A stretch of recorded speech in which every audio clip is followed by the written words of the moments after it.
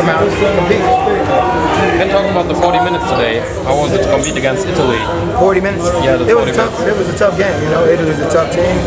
We got great players, individual players. Uh, we just wanted to come in here and play hard and execute our game plan and try to try to get win. You take a lot of shots today. Um, was that the plan? That you No, it wasn't the plan. You know, uh, I had to try to create something for my team. You know, I had to take that responsibility.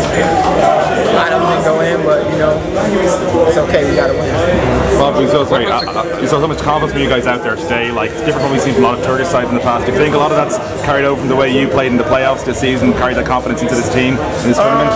Yeah, you know, I played last season with a lot of confidence. You know, I um, wanted to approach Eurobasket the same way. You know, you know trying to help teams take the win. You guys uh, played only with the eight-man rotation. Will that uh, be a problem about the long run when you think about that? Uh, I'm not sure, but you know, we're gonna uh, take it one game at a time. You know, try to take care of ourselves, come out in the next game, and try to play hard. How's the communication?